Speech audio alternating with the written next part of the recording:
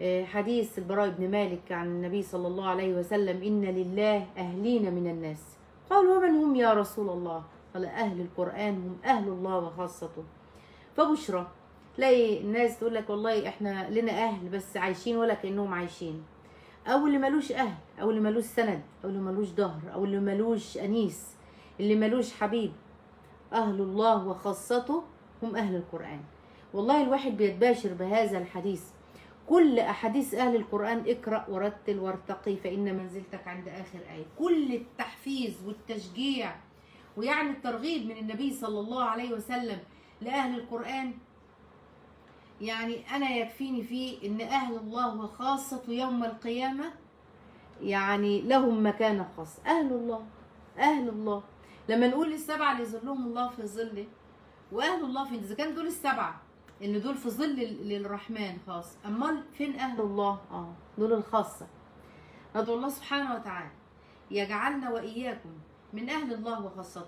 بصوا يعني أنا مش مش مش هنظر النهاردة وأقول ترغيب وأحاديث. وإن المفروض أهل الله دي لهم أخلاق ويتخلقوا بيها و... والمفروض إن دي بداية طريق يعني القلب الذي يجعله الله سبحانه وتعالى إيهاب للقرآن. القلب الذي يجعله الله آهل إن هو يعي كلام الله ويبقى حافظ لكلام الله وكتاب الله ده قلب جميل. إحنا بنفرح بهذه القلوب. قلب جميل. ولكن له من الآداب ومن الأخلاق تسمى أخلاق حملة القرآن. أنا هتكلم الجزئية دي في الآخر. لكن خليني أقول لكم على شوية مواقف وتجارب أنا مريت بيها يا أخوات مع الناس اللي كان لهم حال مع القرآن. يعني فيما مضى كان آه، آه، آه، يعني هارون رشيد يصحى من النوم في القيام في وقت السحر على مقولة من يقول كلام ربي كلام ربي كلام ربي كلام ربي. ناس عايشة بالقرآن والراجل ماشي صح الناس بكلام ربي كلام ربي. لكم على يعني تجربة أهل القرآن وإزاي إن هم يعني اللي مروا في حياتي وشفتهم حقيقة.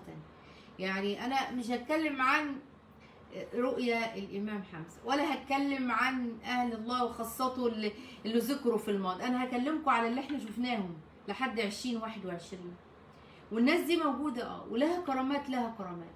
أهل القرآن موفقين في حياتهم. أهل القرآن الله سبحانه وتعالى يقضي لهم أمورهم. أهل القرآن يسددهم الله ويوفقهم الله. أهل القرآن علاوة هم أهل الله وخاصته حالهم في الدنيا هم في جنة في الدنيا.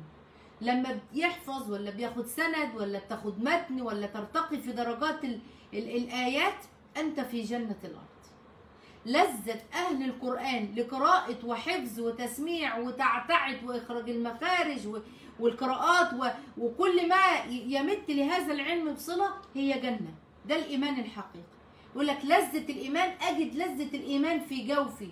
جوفك ولذة الإيمان هي الجنة اللي أنت عايشها في الدنيا. عرفها لهم ده فيها لكن في جنة في الدنيا. في جنة في الدنيا لازم أهل الإيمان يخشوها. هي لذة قراءتك للقرآن ولذة حفظك للقرآن. لذلك إن أنت في معية الله. إن أنت أصلا في معية ربنا سبحانه وتعالى. يعني أنا أنا كان نفسي صراحة إيه إيه يعني يبقى معايا النماذج اللي بحكي لكم عنها ديت لكن هم أخوات متواجدين. متواجدين واللهم بارك لهم حال من من 20 سنة إلى وقتنا هذا. أحكي لكم موقف لأخت من الأخوات حمل لكتاب الله. كنت هي كفيفة إيه، كانت تحفظ بطريقة برايل وبعدين كانت لما تيجي تحفظ تقول لي سمعيني. أجي أسمع لها فكانت تغلط مش تغلط في الآيات. كانت تجيب متشابهات يعني متشابه الأعراف متشابه الشعراء كانت تجيب متشابهات من الآيات. أما كانت تغلط أو تجيب متشابه آه، فكنت أوقفها أردها. فتقول لي لا لا ترديني لا تردنيش ولكن خبطي. اعملي لي كده. اعملي لي كده علشان أنا أعرف إن في إن في أمر فتراجع الآية فتجيبها آه، أعرف من حمل كتاب الله آه، أخوات كانوا أيام الجامعة كانوا يلفوا علينا وقت الامتحانات. وقت الامتحانات دي طبعا يعني في المدينة الجامعية بتبقي محتاجة وبس حد يعمل لك كوباية شاي ولا حد يكون لك الخمار اللي انت نازلة بيه تاني يوم الامتحان. وانت في مدينة جامعية بعيده عن الأهل يعني. فكان يجي حمل كتاب الله فقط هم لا غير. تذكرك بآية من آيات الله.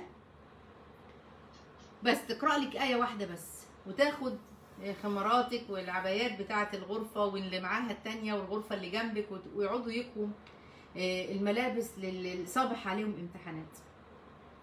آه، شفت من أخلاق أهل القرآن يعني ويؤثرون على أنفسهم ولو كان بهم خصاصة أنا شفت ده بعيني.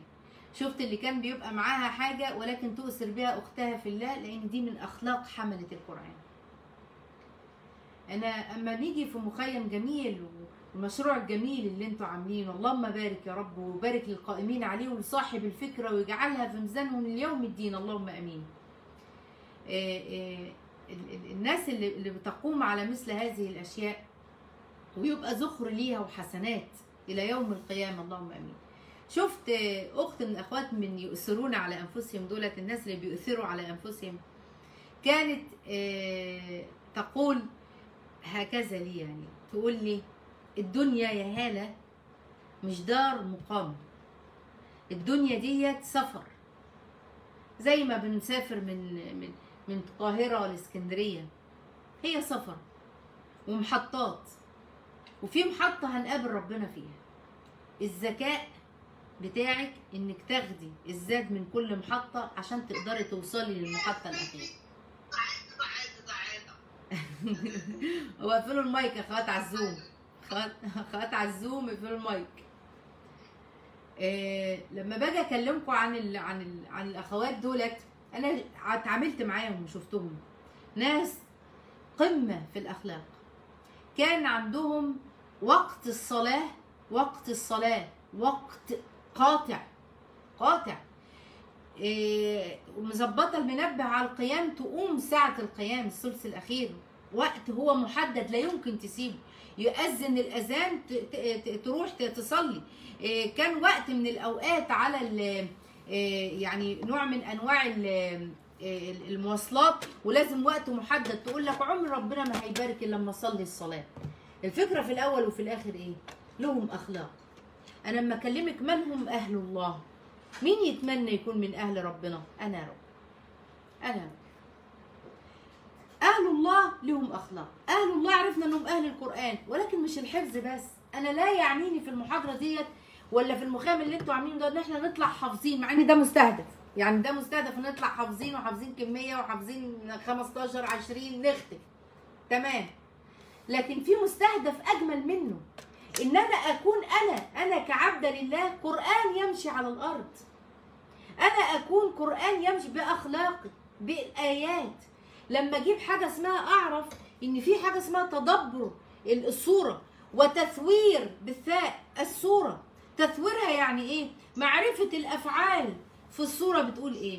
آه، مراد الله عز وجل من الآيات إيه؟ آه الله سبحانه وتعالى إيه افعاله اللي موجودة؟ حاضر يا رب. إيه إيه المنهيات النواهي اللي ربنا قال عليها؟ حاضر يا رب. أسباب نزول الآيات إيه؟ معاني الكلمات إيه؟